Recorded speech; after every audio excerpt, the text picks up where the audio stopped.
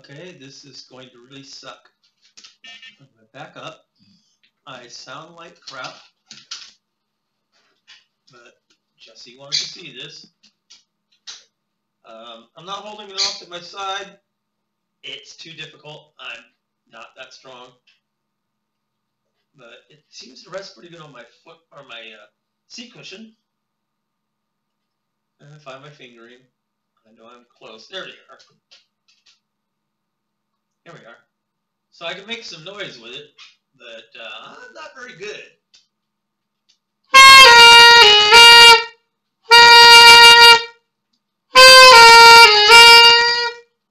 So yeah, okay, it makes noise. It's got the stock mouthpiece on it. It's not a good mouthpiece. I've got one on order. It should be here tomorrow. And I don't have it all the way on the cork because I can't push it that far, even with cork grease. So hopefully the replacement that I bought, the Yamaha that I bought to put on this Stax, will fit easier. But, uh, so this is like the Cecilia Mendini, I believe. It's pretty. For me, it's kind of heavy. Um, seems to be able to make music. Everything seems to work properly. But I'm not very good. But then again, this is only my second day of playing with it. And I've played with it all of maybe 45 minutes between the last couple of days.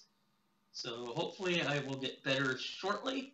I'm getting a lot better at getting my left fingers in the right place. So that's pretty good. And I got to work on my right hand a little bit because that's a bit of a stretch for me. Let me get my hand down there.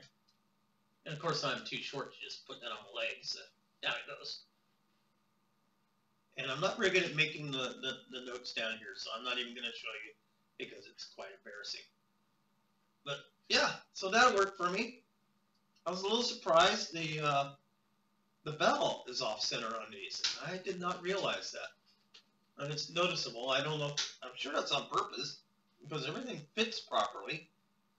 But I noticed that the, the thumb rest for the left finger and the loop for the neck strap are basically in the center, and the thumb rest for the right thumb seems to be in the right spot.